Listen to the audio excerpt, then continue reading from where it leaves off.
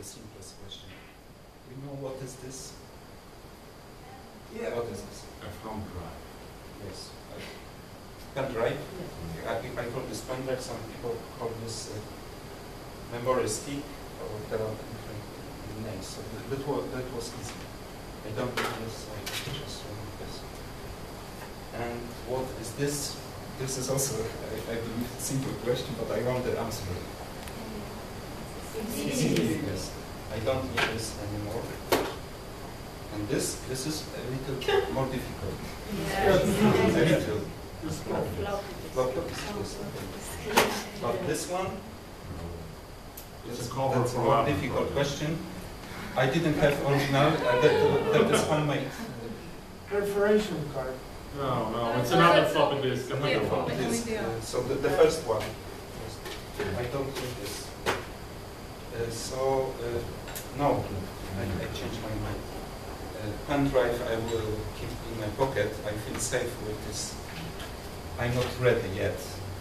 I know there's a cloud that can store this content, content of this device, but I feel safe to keep it with me.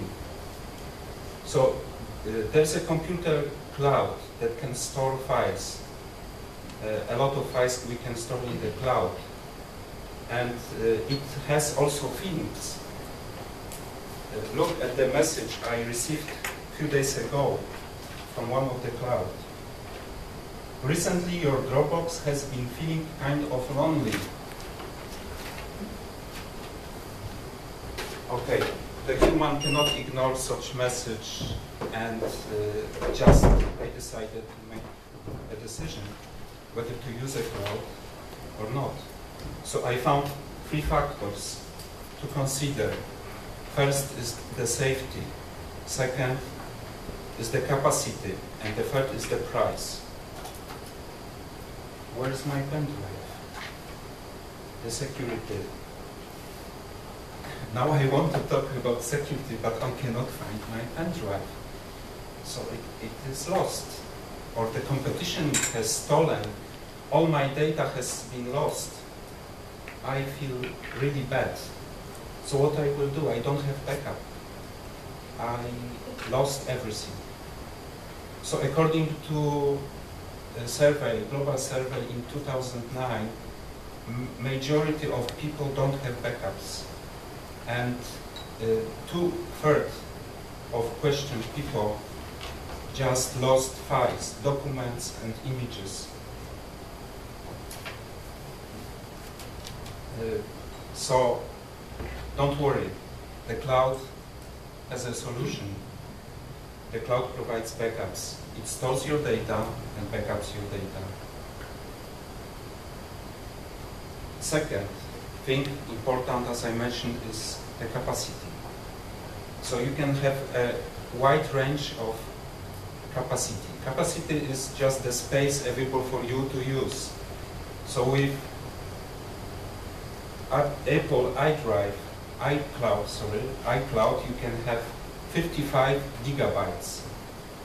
But uh, the bigger size you can get from the cloud Google Drive, it is 15 terabytes. What you can do with the space? With one gigabyte, you can hold 500 pictures HD quality, but with one terabyte, you can hold 500,000 pictures of, of usual HD quality. So the capacity we have guaranteed, as I mentioned. So next, to make a decision would be the price. How much does it cost? There are free plans and paid plans. So people don't, don't like to pay, have this for free, but it is limited to the size. You can have just few gigabytes for free from every key vendor. For example, this drive, oh, I found it, so it's not so bad. Uh, this drive has 8 gigabytes. You can have 2 gigabytes from Dropbox, 5 gigabytes from Google Drive, 5 gigabytes for Apple iCloud, and 7 gigabytes from Microsoft SkyDrive for free. So it comes to 19 gigabytes for free using th- these vendors. Yes. So, uh, why not to make a decision now about using the cloud?